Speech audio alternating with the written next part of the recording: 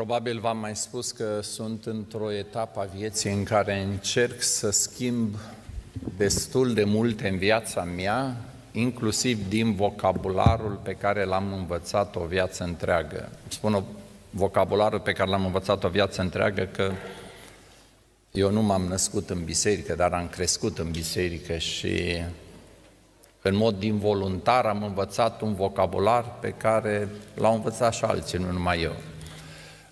Unul din lucrurile pe care încerc să le schimb și mi este foarte greu este să nu mai spun Domnul să te binecuvinteze.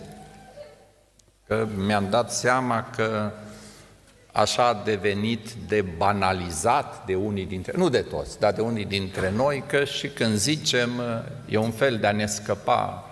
Ți-am zis Domnul să te binecuvinteze și nu mă mai interesează nimic, El interesează pe Domnul și alții nici nu mă mai aud că sunt prea obișnuiți cu bunul acesta. Și pentru că în dimineața aceasta mi-a plăcut, mi-a plăcut felul în care cei mai mulți s-au închinat și ne-au condus în închinare, mă gândeam cum să-mi schimb vocabularul, totuși să le zic ceva. Frații Pantiș, eu cred că destul de mulți vă auzi și vă vor zice Domnul să vă binecuvinteze. Eu am o altă expresie pentru voi. Dumnezeu a hotărât să vă binecuvinteze prin mine astăzi. Amin la finalul serviciului, acolo la masa de cărți, vă duceți și vă alegeți ce carte doriți, este cadou din partea mea și dacă nu vă convine ce ați găsit, veniți cu mine la mașină și puteți să schimbați. Așa vă binecuvintează Domnul pe voi. Acum, să spun ceva, știți, să înveți totdeauna de un bătrân. Să te ferească Domnul să dai nume în biserică, ca mulțumire. Dacă mulțumești la o grămadă. Toată grămada aia nu se bucură atât de mult cât se supără unul pe care nu l-ai menționat. Deci nu mai da, dă-o la grămadă, dar nu pomeni nume. Deci eu în dimineața asta m-am încurcat pentru că acum ei nu mai mai ascultă predica. Ce zice, numai frații Panti și-au cântat.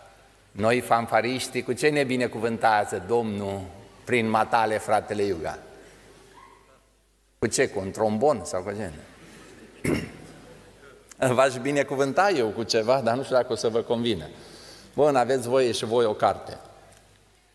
Ăștia nu citesc, de asta le-am zis. Uh, grupul de închinare, voi vreți binecuvântare sau prin mine azi sau... Da, și voi sunteți de sacrificiu. Tot la cărți, da, da, da, da. Luați ceva de măritiș, da? Uh, corul a cântat, dar voi nu vreți. Domnul să vă... A, a, și voi vreți, da. Mamă, ce, da, și ei vor, da. La standul de cărți și... Uh, și acum zice biserica, frate, dar noi ce am făcut? Noi ori am cântat cu ei, ori am suportat. Adică tot merităm. Bun, și voi, acum, toți vă puteți duce la standul de cărți, asta, voi la final mă puteți aștepta și după ce ați luat cartea, ce să spuneți? Domnul să vă binecuvinteze. Eu vă propun o altă variantă. Eu atâtea binecuvântări am și de la voi și de la alții că se lasă cauciucurile. Voi ați putea, fără niciun cuvânt, să puneți ceva în cutie și să spui Dumnezeu îi binecuvintează prin mine pe următorii care vor citi cartea care se tipărește. N-ar fi mai bine? Da, și nici nu știi pe cine binecuvintează, o fată, un băiat, un bătrân. Bun, deci astea cu binecuvântările am lămurit. Apropo, eu chiar v-aș interzice, dacă aș putea o săptămână, să mai ziceți Domnul să vă binecuvinteze. Și cumva v-aș obliga, de câte ori deschizi gura, să spui, Domnul a hotărât să te binecuvinteze prin mine. Deci eu cred că s-ar bucura multe neveste dacă bărbatul nu ar mai zice Domnul să te binecuvinteze. Și ar spune, astăzi Domnul te binecuvintează prin mine. Spăl vasele, mă duc cu copiii la plimbare, îi iau de la școală, fac eu pizza și toate celelalte. Ce zice surorilor? În afară de un Domnul să te binecuvintezi să le faci pe toate, Domnul te-a binecuvântat. Hei, bărbații, ce, zi ceva și pentru noi, frate. Dacă nevestele au înțeles, e ok, da? Bun, eu chiar cred că Dumnezeu vă binecuvintează prin noi, pentru că de câte ori vin eu vă dau subiecte de rugăciune și subiecte de acțiune. Am o întrebare, așa sunt curios. Toată viața am fost curios, dar am recunoscut. Câți dintre voi dormiți de obicei cu telefonul în dormitor? Unii n-aveți ce face, unii nu vreți să ridicați mâna, așa. Ați fost care ați primit mesaje și v-au trezit în timpul somnului. Eu, ca regulă, nu dorm cu telefonul în dormitor și, ca regulă, îmi place să nu iau telefonul în biserică. De ce? Pentru că aud, uneori mă ajută, alteori mă deranjează. Nu știu dacă v-am spus înainte, că nu mai știu când am fost la voi, dar am fost M-a trezit noapte un mesaj, nu știu cum a rămas telefonul în dormitor, și era un mesaj pozitiv de la frații din Cuba și îmi scria președintele de acolo, slavă Domnului, am primit ștampila, după aproape două luni de zile, am primit ștampila de la vamă și putem ridica containerul. A fost o minune, m-am bucurat și apoi mi-a sărit somnul toată noaptea, că am zis, stai acum să văd cât îi taxează, că le-au ținut aproape două luni containerul în vamă. Dumnezeu a făcut și minunea, și nu pot să vă spun prea multe, dar la ei legea e dacă în 30 de zile n-ai ridicat containerul, ți-l confiscă. A nostru a stat aproape două luni și nu l-au confiscat. Și al doilea lucru, pentru fiecare zi care se stă în port, ești taxat. Compania care ne-a dus, cred că ne-a dat șapte zile să descărcăm. Și a nostru a stat aproape două luni. Și n-am fost taxați. Dumnezeu face minuni, să le să fie El. Deci asta aș vrea să intre la capitolul mulțumire. Uh, azi noapte, pentru că am dormit în casa cuiva, am zis să nu-i trezească telefonul pe ei, l-am lăsat lângă mine. Și am primit un mesaj. Nu m-am uitat de la cine, iară m-a trezit, am primit mesajul și o să vă spun, a fost din Cuba. Și am citit dimineața mesajul și spune, aș vrea în următorul container pe care îl trimiteți, că lucrăm la aceasta, să puneți și ceva de spălat pe mâini mai puternic, pentru că noi avem uh, ceva mașini care mai mult stăm pe sub ele și le reparăm și e foarte greu să ieși de o mașină, să te speli cu apă și apoi să te duci la amvon și să fii și curat pe mâini. Adică vreau să vă aduc aminte că lucruri pe care noi le banalizăm sau le avem la tot pasul, ei nici în visele lor nu le au. Ce m-am gândit eu acum, cu o cutie de detergent din ăla bun de spălat pe mâini, așa, pentru ăsta, cineva din biserică o are, o să mă sune, frate eu, îți dau eu cutia de detergent, nu te mai chinui cu chestia asta. Mulțumesc frumos, Domnul m-a binecuvântat prin voi și prin mine a binecuvântat pe ei. Mă gândeam, dincolo de rugăciune, dacă să vă ofer posibilitatea să participați voi la lucruri frumoase. Teoretic se poate și fără voi, chiar dacă voi credeți că asta poate fi o jignire, dar se poate și fără mine, se poate fără oricine. Practic, zic să vă dau ocazia, dincolo de rugăciune, să faceți ceva și aș, ați putea să vă gândiți la următorul lucru. Încercăm să ajutăm la o tabără pentru 100 de persoane, tabăra în sine, nu în primul rând persoanele. Tabăra în sine n-ați văzut în viața voastră așa ceva, îi spuneam fratelui păstor paturile, cam cum arată, două bucăți de fier striat, nu știu, băgate în pământ sau unde, sudat așa o ramă de fier tot din aia și cu sută niște rafie, nu știu, cu sârmă sau cu ață, cu ce au găsit, cu sută acolo, aia ar fi salteaua. Apoi eu numai așa să japă aia, că nu sunt chiar așa de credincios și mai ales dacă ar fi fratele deasupra mea, cred că aș dormi pe pământ, da? Ne gândim să le trimitem 100 de saltele, ne gândim să le trimitem niște vesele surorilor, de tablă sau de plastic, să înțelegeți, nu trimitem altceva. Poate să-i ajutăm să tragă acolo un pic de apă, să pună o chiuvetă. Nu vă dau poze, că nu vreau să vă stric pofta de mâncare, dar vi le pot da în particular.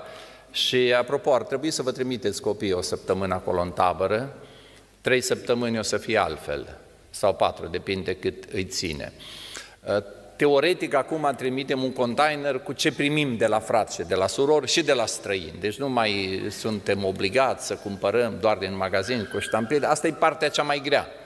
Pentru că autoritățile ne cer pentru fiecare produs care îl punem să fie trecut pe listă tricoul, valoarea și greutatea. Vă dați seama că așa ceva nu putem face, dar ce vom încerca noi? Să scriem acolo pe cutie 50 de tricouri, 300 de lei, greutatea 5 kg, da? Vă dați seama că nu trimitem gunoaie, ci doar lucruri bune din respect pentru Dumnezeu, pentru frații noștri.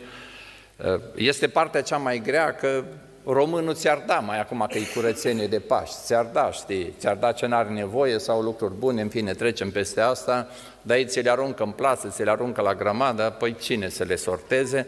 Dar mă gândeam că tineri ar putea face ceva pentru tineri, dacă ai un tricou care nu l-ai folosit un an de zile, dă-l, chiar dacă ai nou nouți.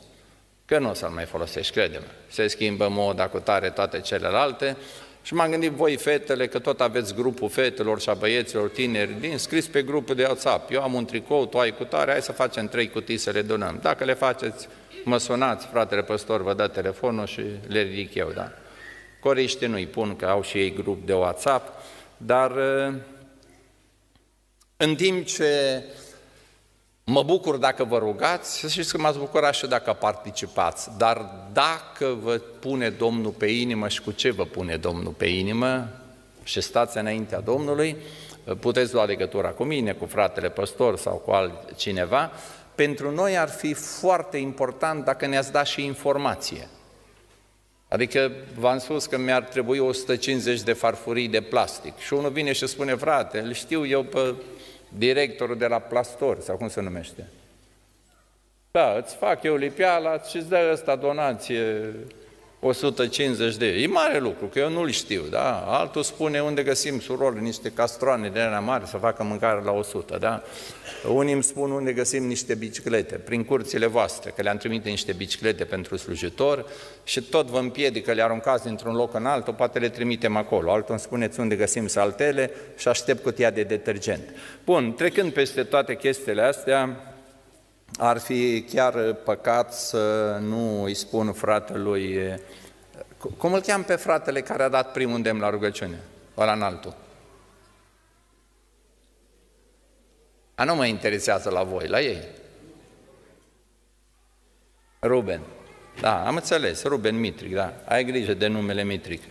Uh, Dumnezeu te binecuvintează prin mine, îți dau niște cărți la final. Dar tu chiar la final de tot, pentru că știi, înainte se hrănesc mulțimile și ucenicii rămân la urmă. Dar au rămas fiecare cu câte un coș, după teoria mea. Deci e ok. Puteți să-mi spuneți și mie care e pasajul din care trebuie să predic astăzi? A, Luca 18, da.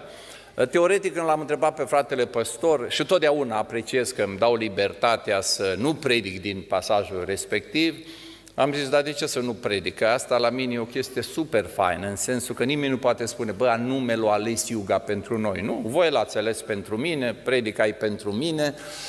Apreciez ce spunea fratele Ruben, chiar apreciez că a scos în evidență foarte multe aspecte pozitive la tânărul acesta. Tânăr care probabil avea vreo 45 de ani, 50 de ani, cine știe câți avea, dar noi plecăm de acolo, de la toate le-am păzit din tinerețea mea, că el a fost tânăr, da, putea avea 75 de ani, să spună toate le păzit din tinerețe, nu neapărat să fie tânăr, dar e ok, așa îi zicem noi, tânărul bogat, că ne convine. Uh, apreciez toate lucrurile pozitive și sunt foarte multe. Uh, ni se vorbea despre faptul că este conducător, sinceritatea lui chiar nu-i convine, onestitatea lui, moralitatea lui, faptul că și atunci când ajunge cineva în societate, cineva din punct de vedere financiar, el nu rupe relația lui cu Dumnezeu, relația cu poporul lui Dumnezeu. Sunt lucruri care la foarte mulți dintre noi nu li s-ar potrivi.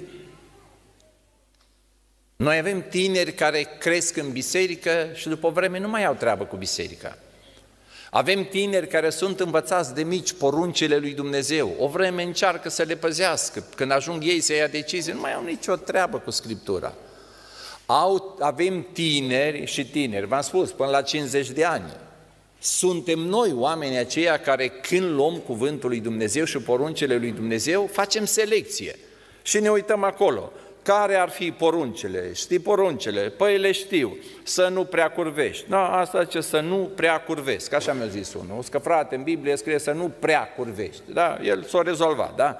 O înțeles Scriptura. Să nu ucizi. Da, zicea, asta n-am omorât, îi ucid doar sufletul. Să nu furi, zicea aici, e așa. Să nu faci o mărturisire mincinoasă. Deja noi ne găsim versete din Biblie care ne ajută să mințim. Nu? Îl băgăm și pe Dumnezeu acolo cu să cinstești pe mama ta și pe tatăl tău, nu mai e la modă, trecem și peste asta. Ei, tânărul acesta, indiferent ce vârstă o fi avut, chiar le ținea pe toate. Și Domnul nu spune, ești mincinos, nu le-ai ținut. El nu face diferență între poruncele lui Dumnezeu. Pentru el poruncele lui Dumnezeu sunt da și amin și el plătește prețul să țină poruncile acestea. Nu știu dacă vă gândiți în ce generație a trăit copilul acesta și tânărul acesta. Vreau să vă aduc aminte, dacă mă întorc la cinstirea părinților, care nu este negociabilă. Ascultarea părinților este negociabilă, dar asta o să vă discutăm altă dată. Dar cinstirea niciodată nu este negociabilă. În generația în care el spune am cinstit-o pe mama și pe tata, chiar dacă n-am fost de acord cu ei cu anumite lucruri și chiar dacă nu i-am ascultat în anumite lucruri. Adică să vă lămuresc, să nu leșine părinții, da? Eu hotărăsc să-mi iau Dacia ca mașină, da? Și tata vrea să-mi iau Volkswagen. Eu îl respect pe tata, dar nu-mi cumpăr Volkswagen, ci îmi cumpăr Dacia. Care-i problema? L-am respectat pe tata, dar n-am gusturile lui tata și nu mă însor cu fata cu care zice tata, urmăresc principiile tatălui meu dacă sunt biblice, nu îmi cumpăr mașina care zice tata și nu mâncă macaroanele care zice tata, da? Mâncă măliga care decid eu cu nevasta. E greu pentru noi, pentru părinți, să acceptăm că respectul e una și ascultarea asta. Dar vreau să vă spun că în generația asta în care copilul acesta așa a respectat părinții, liderii religioși, știți ce au făcut? Au găsit o șmecherie din asta pocăiască, cum zicem noi, că noi suntem plini de șmecherii. De câte ori venea tata și mama să-i dea ceva, ce ziceau ei? L-am închinat Domnului. Mamă, zice, ai venit după un kil de orez, Domnul ți-o luat înainte, am închinat Domnului. Serios, cărui Domn? Deci, într-o astfel de generație, când se întâmplau toate prostiile și măgăriile și păcatele, și la templu, și la sinagogă, și în viața de fiecare zi, găsim un astfel de om care trebuie apreciat și trebuie apreciat pentru toate lucrurile bune pe care le-a făcut. Ei, în dimineața aceasta eu o să schimb puțin uh, ideea, doar am vrut să spun că mi-a plăcut tare mult ideea aceasta. Știți care este întrebarea mea, surorilor? Copilul acesta, tânărul acesta, adultul acesta, a fost ajutat sau încurcat? Am înțeles, trebuie să fiu mai clar. Ca să devină ceea ce a devenit, a fost ajutat de cineva. Am înțeles că el a crescut ca tânăr cu bun simț. Am înțeles că a învățat am înțeles că a fost moral, am înțeles că a muncit, că a fost cinstit, că n-a furat pe nimeni și toate astea. Cineva l-a ajutat sau nu? A, voi sunteți cu surorile, n-au voie să vorbească în biserică. Voi? Da, ce? A fost ajutat. De către cine? Eu vorbeam cu surorile. Nu, nu, eu alt răspuns aștept.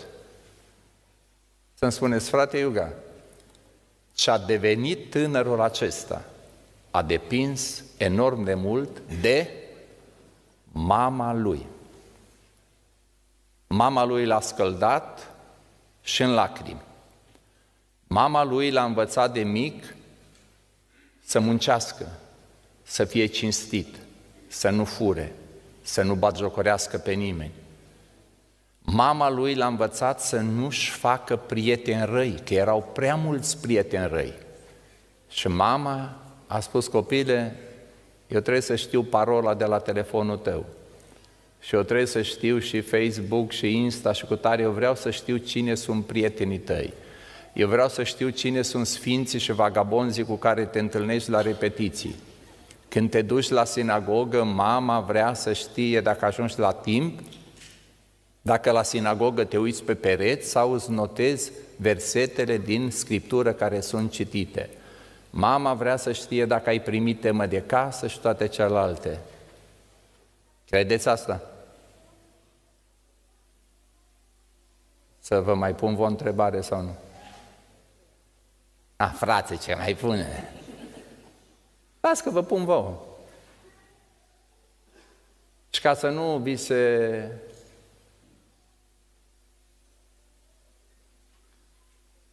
Aha, mai bine. Așa, ca să nu le crească tensiunea, mă întorc înspre voi. Fraților, doar mama l-a influențat. Tata unde a fost? Unde a fost frate? La lucru sau unde a fost? Aha. Deci l-a făcut și a mers la lucru și după ce l-a făcut și a mers la lucru, a rămas el cu vagabonzii de pe stradă, a rămas cu șmecheri, a rămas cu mafioți, a rămas cu toți și avea două șanse. Ori mama să se ocupe și mama să fie mai înțeleaptă, mai tare, mai puternică decât tot satul și toată generația și toată preoțimea, sau copilul să ajungă ca ceilalți. Asta trebuie să facă tata. Păi ascultați-mă, eu cred că mamele ar face un târg cu voi. Eu cred că în ziua de astăzi ar fi mame care spune, frate Iuga, nu poți să faci o întâlnire cu bărbații, să le spui din partea noastră că merem noi la lucru să aducem bani în casă. Nu mai trebuie să meargă ei la lucru să aducă bani în casă, să rămână ei cu copiii să-i schimbe ei, să-i spele ei, să facă ei matematică cu copiii, să citească ei versete din Biblie, să învețe ei cântări, să-i ducă ei la adunare, să-i aducă înapoi, să fie ei calmi când patru copii urlă. Mai tare decât fanfariștii, cu instrumentele mă refeream, și noi ne ducem liniștite la fabrică, că m-am făcut farmacistă și dau și îmi zâmbește toată lumea și spune să româna, știu și eu să lucrez pe calculator, să fac și soft și hard și să stea acasă tata cu el să vadă cam ce pruncare. E, îmi place să cred că toți frații din biserică sunt frate Iugan. Băiatul ăla a devenit ce a devenit pentru că a avut și mamă și tată. Și el a devenit cinstit pentru că taică s-a fost cinstit. Și el a spus adevărul pentru că taică s-a spus adevărul. El a muncit pentru că taică s-a muncit. Să mai continui sau... Nu, nu suntem la masa Domnului, dar aș vrea în dimineața aceasta să ne întrebăm ce fel de tați suntem. Poate, nu, nu pun vina pe nimeni, ascultați, că nu sunt eu cu... Dar stau și mă întreb, copiii mei au devenit cumva ceva și datorită mie? Sau copiii mei sunt undeva și din cauza mea? Am înțeles că băiatul acesta a avut părinți, presupun. Dar bunici avem pe aici? Și băiatul ăsta a devenit ceva și datorită bunicilor? A, eu cred că băiatul ăsta a avut niște bunici care când mama îi spunea fi cu bun simț, salută pe toată lumea. Bunicii au zis, bă, nu merită, nu asculta pe maică ta. Când taică s-au spus copile, la ora șapte te trezești, că în viață, dacă vrei să realizezi ceva, trebuie să fii organizat. Știi ce a zis bunica? Vino în weekend la Buna, și în vacanță, că nu te mai trezește până la 11 ziua. Deci, bunicilor, voi credeți că suntem lăsați să ne norocim nepoții și părinții? Dacă vreți să-i ajutați pe părinți și să vă ajutați nepoții, creșteți pe aceleași principii. Și când cineva va duce nepoți, întrebați ce vreți să scoateți din copiii ăștia că noi vrem să vă ajutăm să mergeți în direcția respectivă, nu să-i stricăm. Și cât lucrați voi? Două luni de zile până veniți la bălaia la noi, noi în două ceasuri să stricăm tot ce ați hotărât voi în două luni de zile, că de asta suntem bunici. Apropo, fanfariști, să nu vă neglijezi, ăsta cânta în fanfară, când era tânăr. Avea și frate sau era singur la părinți? Mai avea un băiat. Trombonist și frate sau. Oare frate s-o l-a ajutat ceva în toată chestia asta? Că el a devenit cineva, de ce să nu recunoaștem? Băiatul ăsta a devenit cineva. Asta este întrebarea mea. Și vreau să vă spun că nu o să țin eu tot ce am în calculator. Frământarea mea, știți care a fost când m-am gândit la pasajul ăsta? Oare liderul de la sinagogă l-a învățat ceva pe băiatul ăsta? Că mergea și el la sinagogă și era acolo unul responsabil cu sinagoga. Ușierul de la sinagogă măturătorul de la sinagogă. Dacă aș spune în alți termeni, învățătorul de școală duminicală de la sinagogă a contribuit cu ceva ca băiatul acesta să devină ce a devenit. Dragii mei, ce suntem noi, ce devenim noi? Este o multitudine de investiții. Contează ce face mama și ce este mama, contează ce este tata și ce face tata, bunicul, bunica, ă, păstorul, învățătorul, toți suntem importanți. Și să știți, uneori mă îngrozesc la noi, la slujitor, vorbesc despre mine, să nu fiu atent când mă întâlnesc cu niște copii. Nu știu dacă se uită copiii la mine cum mă uitam eu la păstorii de altă dată. Și mă gândesc la slujitori care prin comportamentul lor și prin cuvintele lor, prin atitudinea lor, au lăsat în mine imaginea unui om al lui Dumnezeu. Nu că nu-i om, nu că e perfect. Eu n-am fost atât de prostut să cred că un slujitor e înger. Am știut că e om și el. Dar aveam niște așteptări de la ei. Și încă n-am uitat. Și nu știu dacă voi uita vreodată imaginile negative pe care mi le-au lăsat slujitorii în minte. Și când am fost copil și când am fost tânăr. Și mai târziu, de asta nu se spun. Pentru că la noi în casă veneau toți. La noi dormeau, la noi mâncau, la noi discutau cu părinții și eu filmam tot. Camera ascunsă, eu filmam și la vedere. Ei, dacă unii spuneți, frate Iuga, ce frumos că tânărul acesta a avut mamă bună, a avut tată bun, a avut bunici buni, a avut învățător de școală duminicală bun, lider cu tare. Da și nu, poate că nu a fost așa. Poate că mama nu a fost cea mai bună. Poate că tata nu a fost cea mai bun, dar a fost bunica cea mai bună. Poate că liderul de la sinagogă n-a fost cel mai bun, dar el a avut o mamă care a spus, copile, nu crede tot ce auzi la sinagogă. Mamă, ascultă-mă că sunt femeie bătrână. Mie când mi-a spus mama prima dată lucrul ăsta, am crezut că leșin. V-am spus că la noi venea tot, nu era tata acasă, a venit un frate cu probleme de biserică și o strigat, o ieșit mama în curte, în fine, și el a început, unde-i fratele Mihai? Nu, el dacă tot a venit și a lăsat tătă o travă acolo, tot. Eu când am auzit și au zis, fratele, m-am încrozit, un pic de n-am paralizat. Mama, în femeie înțeleaptă, l-a ascultat cu... Așa. Când a ieșit ăla din curte, zice, mama, nici alul ăsta nu stăche cu lapte. Eu știi, să leșin, mamă, un frate din biserică, băi copile, tu crezi că te ce vorbește, asta e adevărat? El a spus punctul lui de vedere, care ai cloie, știi, ce au văzut ei, da? Ah, mi-am dat seama că nu depinde cine vorbește, ce vorbește, dar cineva trebuie să te învețe. Și ascultați-mă, m-aș bucura să vă spun că suntem într-o societate unde toți ne vor binele. Guvernul vrea binele copiilor noștri, politicienii vor binele copiilor noștri, școlile, educația, toți vor binele copiilor noștri. Și voi să spuneți, frate, nu e așa, toți sunt împotriva copiilor noștri. Super, știți ce înseamnă?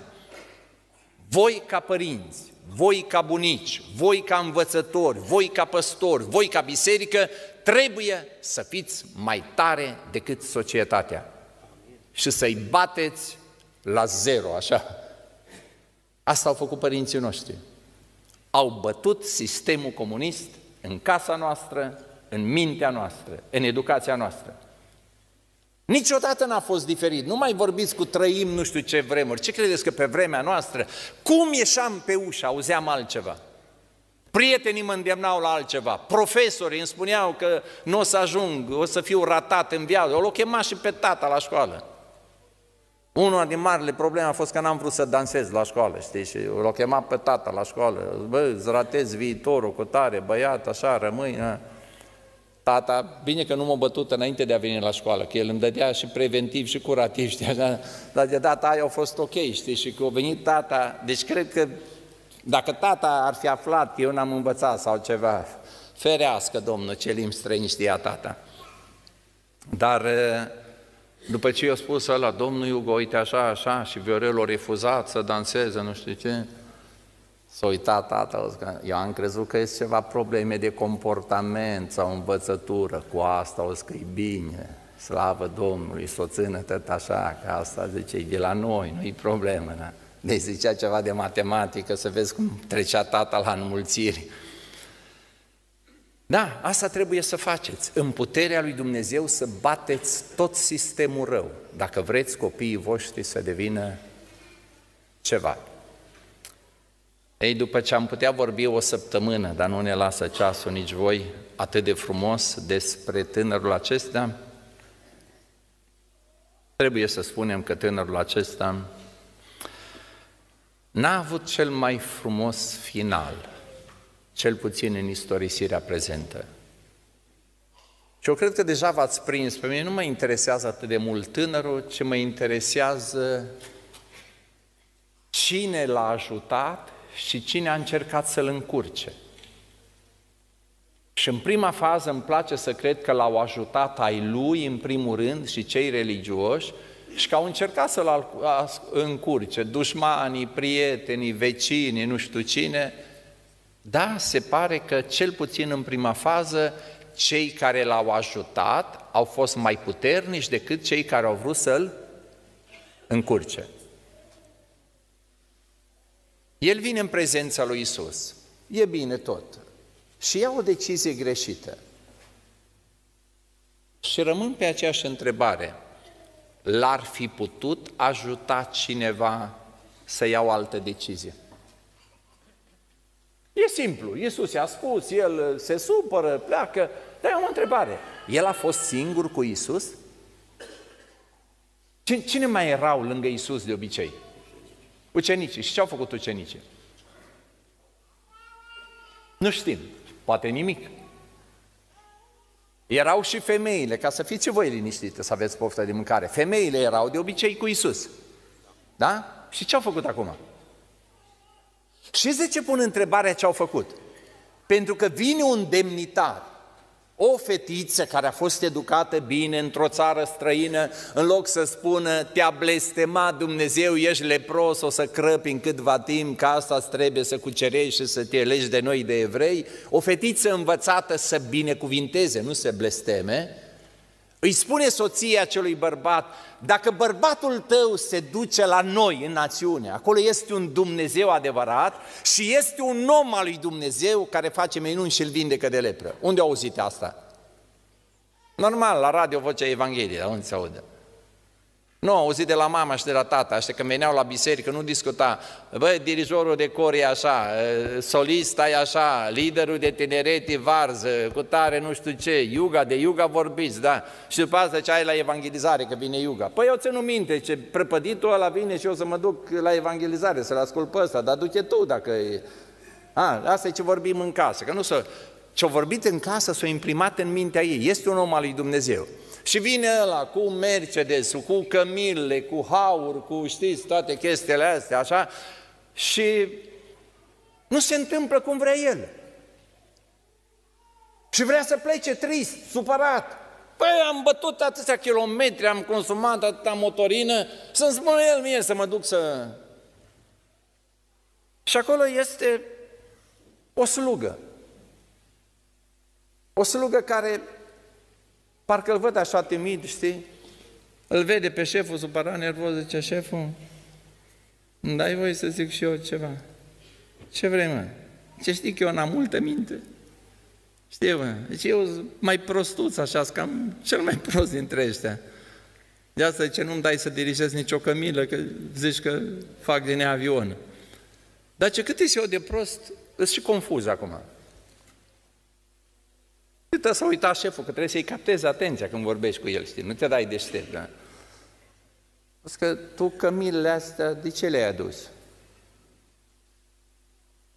Băi, ce chiar ești prost. N-ai minte. Le-am adus cu aur, măi, cu așa. A, ce tu în saci ai aur, n-ai cartofi. Nu, nu, ca s-a luat la mișto, știi? Și aurul ăsta de ce l-ai adus? Să-l dau la ăla.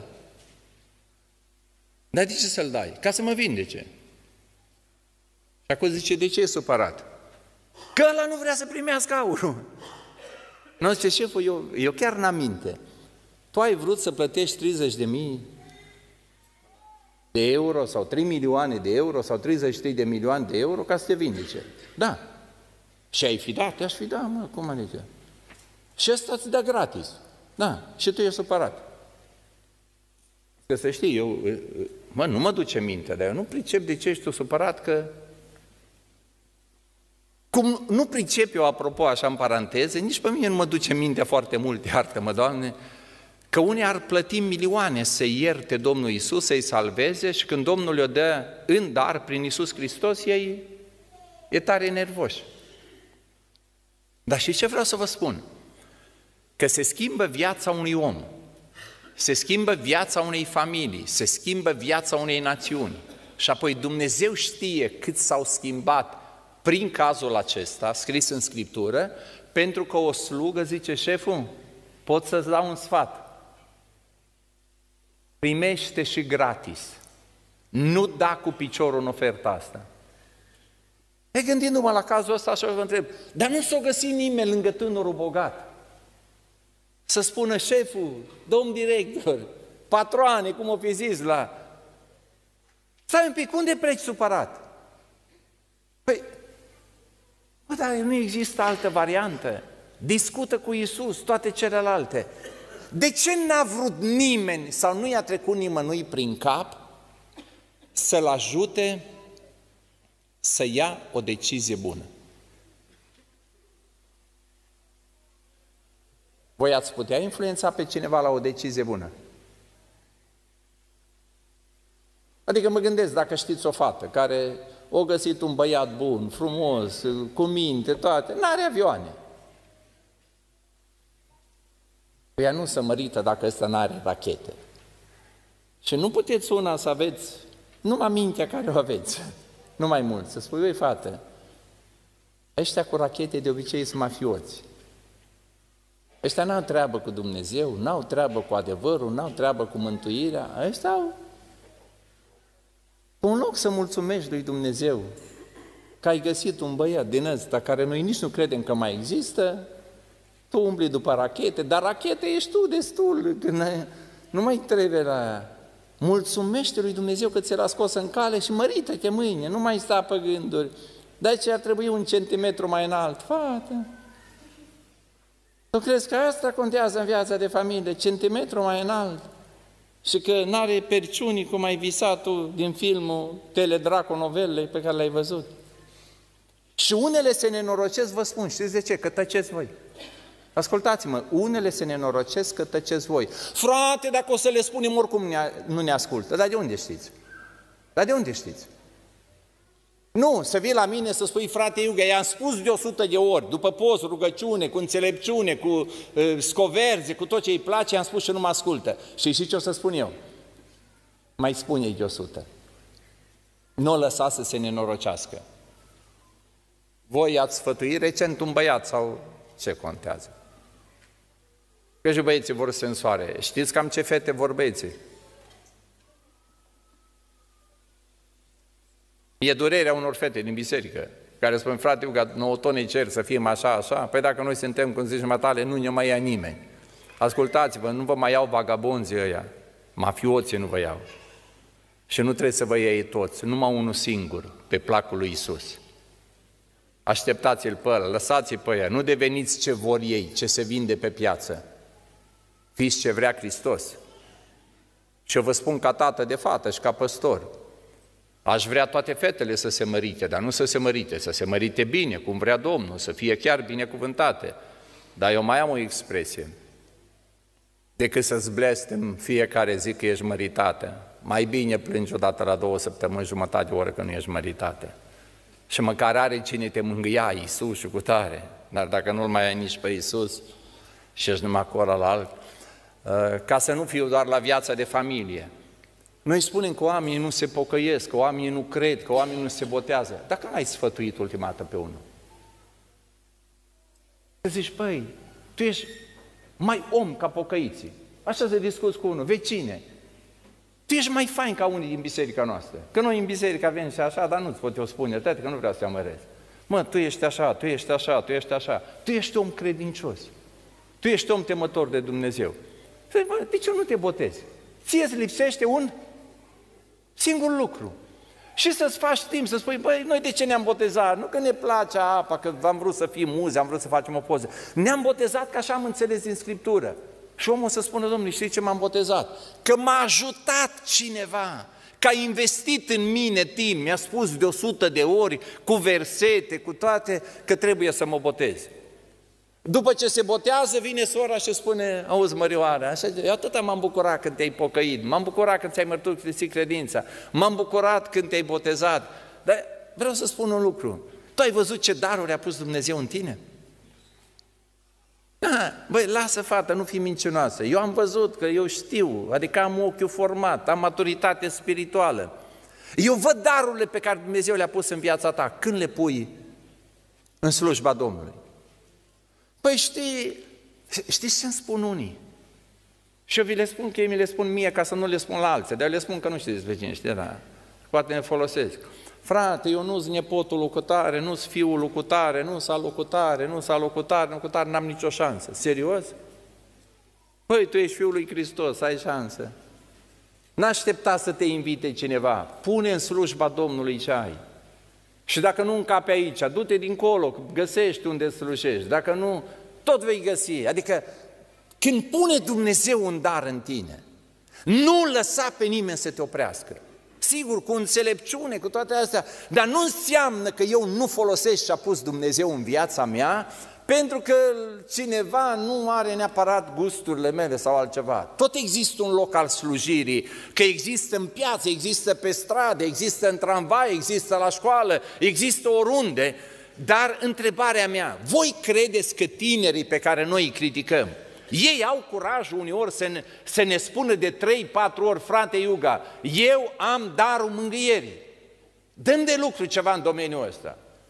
Nu, că el săracul e și, dacă el zice că are darul mângâierii, eu îl și cataloghez, vezi că mândria merge înaintea căderii. Cum adică ai spus tu că ai darul mângâierii? L-am băgat de jumătate în iad, știi? Să vină să-mi spună a doua oară, îl exclud, că e obraznic, da? Păi ar trebui noi, cei mai în vârstă, mai înțelepți, mai maturi, să fim noi cei care îl ajută. Avem un tânăr care a devenit cineva pentru că l-au ajutat alții. Și avem un tânăr care a ratat cea mai mare ocazie a vieții lui. De ce? Zice surol, de ce? Că nu l-a ajutat nimeni. Nici Maria, nici Ioana, nici Susana, nici Petru, nici Ioan, nici Toma. Nu știu unde a fost atunci. Nu l-a ajutat nimeni. Să spună, omule, e șansa vieții tale când Hristos îți cere ceva și îți garantează ceva. Acolo sunt lucruri mari, se vorbește despre împărăția lui Dumnezeu. Domnul îl asigură dacă vinzi tot ce ai, dar nu e sigur că trebuia să vândă. Dar mergem pe teoria asta. Dacă vinzi tot ce ai, vei avea o comoară în cer și vei deveni ce? Aici pe pământ ce vei deveni? A, n-ați citit textul. Ce contează? Pe ce vine după mine, urmează, vei deveni ucenicul meu.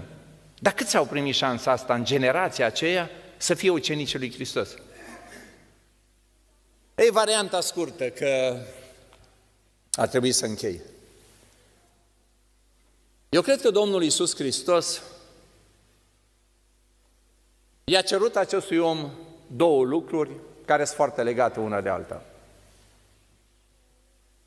Să se deslege și să se lege. Corect. Dezleagă-te de ce ești legat și leagă-te de mine, de ce trebuie să fii legat.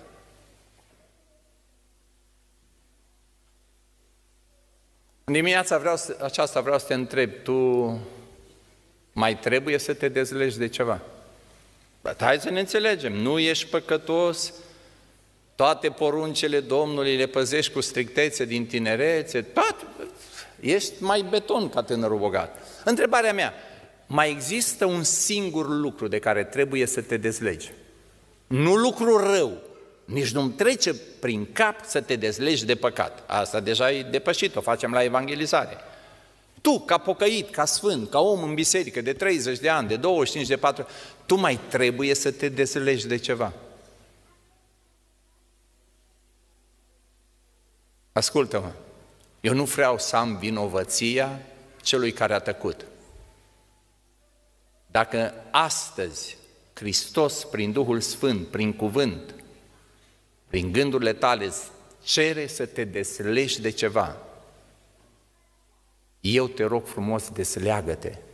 Nu pleca trist. Că dacă pleci trist, e tragic. Și dacă nu te poți dezlega singură, soră, nu pleca acasă. Caută o soră pe care o știi, pocăită, înțeleaptă, o și spui, soră, eu de aici trebuie să plec dezlegată și tu trebuie să mă ajuți. Discuți cu mine, te rogi cu mine, caută un slujitor, caută pe cine vrei, că nu contează că se grăbește lumea. Aici suntem pentru voi. La asta ne-a chemat, spui, frate, eu de aici trebuie să plec dezlegat. Unii ați respirat atât de ușurat că nu trebuie să vă dezlegați de nimic, nici măcar de obiceiul de a încheia la ora 12. Pentru voi am mult altă întrebare și sunt întrebările pentru mine, la fel de serios ca pentru voi. Ești cumva unul care trebuie să te legi mai tare de Hristos? Am înțeles că nu trebuie să te deslegi de ceva sau de cineva. Ar trebui să te legi mai tare de cer. De Hristos ar trebui să te legi mai tare. Eu vă spun titlul mesajului din dimineața aceasta. Nu știu dacă băieții de la stație pe care îi apreciez tot timpul că ne slujesc, Domnul să vă... Dacă vreți să vă binecuvântați, luați o carte, dacă nu altceva. Când am fost data trecută la voi, că n-am știut tot, bă, te-am auzit la speranța cu tare unii și alții, ce ai predicat acolo? Da, zic, habar n-am, eu știu. Și m-am uitat și eu să văd. Apare așa, o predică interesantă, ăsta e titlul. Cine l-a pus, nu știu, dar e ok. E dimineața asta nu e o predică interesantă. Dimineața asta vă fac cadou titlu întregi zile, întregi dimineți. Știi cu ce a început Ruben? N-a formulat-o așa. Dacă nu-i convine, să se abțină. Știi care a fost mesajul pe care ne l-a spus Dumnezeu prin el? 99% nu este suficient. E adevărat, Ruben? Zi da. Trebuia să o spui așa de vreo 10 ori să le intre în minte. 99% nu este suficient. A venit fratele păstor și a repetat o leacă că nu, trebuie să repete și când are musafiri, ca să vedeți că e prezent, ca așa facem toți.